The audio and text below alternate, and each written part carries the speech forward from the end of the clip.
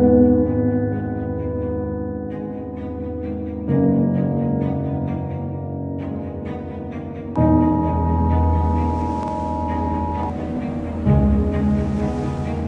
National Weather Service in Norman has issued a severe thunderstorm warning effective until 3 p.m. Central Standard Time for Blaine, Canadian, Kingfisher, Oklahoma, Logan and Lincoln County. Several severe thunderstorms have been predicted to pass directly over northern